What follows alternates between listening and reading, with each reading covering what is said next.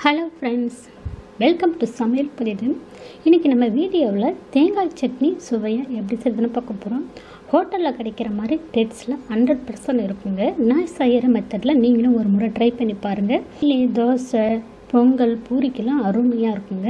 இந்த தேங்காய் சட்னியை ஒரு முறை ட்ரை பண்ணி பாருங்கள் இந்த வீடியோ பார்க்குறதுக்கு முன்னாடி நீங்கள் நம்ம சேனலை புதுசாக பார்க்குறவங்க இருந்தால் சப்ஸ்கிரைப் பண்ணிக்கங்க. கூடவே பெல் ஐக்கனை கிளிக் பண்ணி வச்சுக்கோங்க. இப்போ வாங்க இந்த தேங்காய் சட்னி எப்படி செய்யறதுன்னு பார்க்கலாம். இப்போ மிக்ஸி ஜாரில் அரை மூணு தேங்காவை சீல் பண்ணிவிட்டு சேர்த்துருக்கேன். உங்களுக்கு கருப்பு பகுதி பிரிக்கலாம் கருப்பு பகுதியை நீக்கிட்டு தேங்காவை சேர்த்துக்குங்க. ரெண்டு டீஸ்பூன் அளவுக்கு பொட்டுக்கடலை சேர்த்துக்கிறேன்.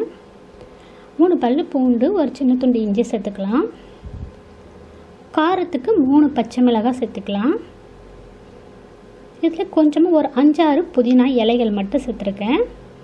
இது கூடவே இந்த சட்னிக்கு தேவையான அளவு உப்பு சேர்த்துக்கலாம். கல் உப்பு சேர்த்து செய்யுங்க. சட்னி நல்லா அருமையான சுவையில் இருக்கும். இப்போ இதில் ஒரு கால் டம்ளர் தண்ணி சேர்த்துக்கலாங்க. ஓ நைஸாக அரைக்காதீங்க. கொஞ்சம் குறை குறைப்பாக அரைச்சி எடுத்துகிட்டு வரணுங்க சட்னியை. இப்போ தேங்காய் சட்னி அரைச்சிட்டு வந்து ஒரு பவுலுக்கு மாற்றியாச்சுங்க பாருங்கள் இந்த மாதிரி தான் பக்குவத்தில் தேங்காய் சட்னி அரைக்கணும்.